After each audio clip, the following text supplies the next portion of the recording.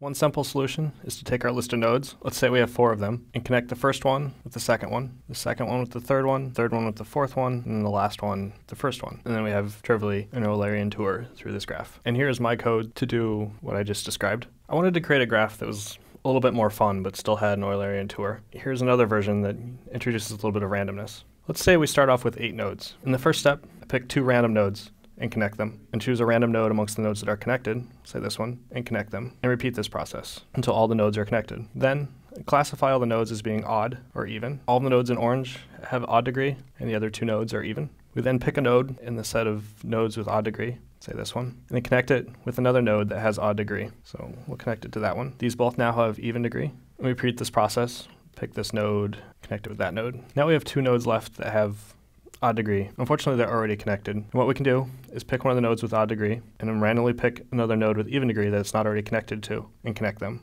So maybe this one down here. Now this new node has odd degree. The old node no longer does. Now we have two nodes with odd degree that we can connect. And just to verify that there's an Eulerian tour, we can go through here, over to here, connecting up with this guy.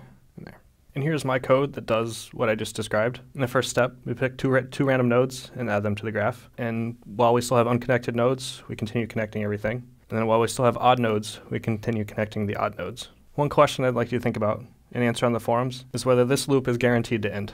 And if so, why? There's a link below in the instructor's comments where I'd like you to post your answer and read what some other people have to say as well.